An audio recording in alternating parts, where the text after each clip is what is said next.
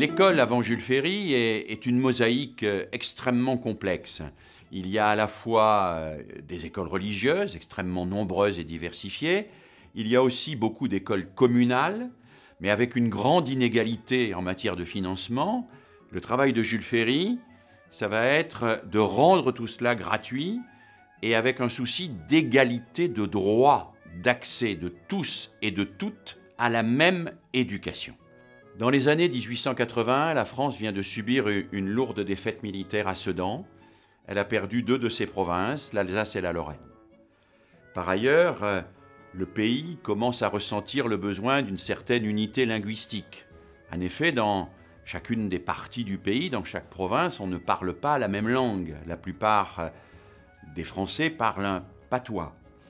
Et ça commence à devenir un handicap pour le développement du pays.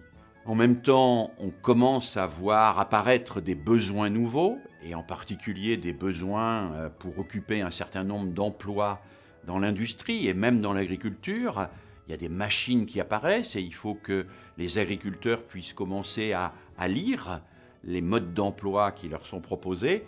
Et puis, on veut faire de chaque Français un citoyen capable de s'impliquer dans la vie du pays. Et c'est le moment euh, où Jules Ferry va proposer euh, au pays ces grandes lois scolaires de 1882-1883, grandes lois scolaires qui rendent l'instruction obligatoire, gratuite et laïque. C'est une révolution parce que pour lui et pour les républicains de l'époque, chacun peut accéder à l'instruction.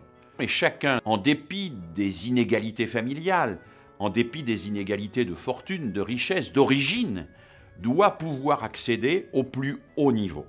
Il faut remplacer l'inégalité des privilèges et des héritages par l'égalité dans l'accès au savoir. L'école d'aujourd'hui est un héritage de cette école euh, de Jules Ferry.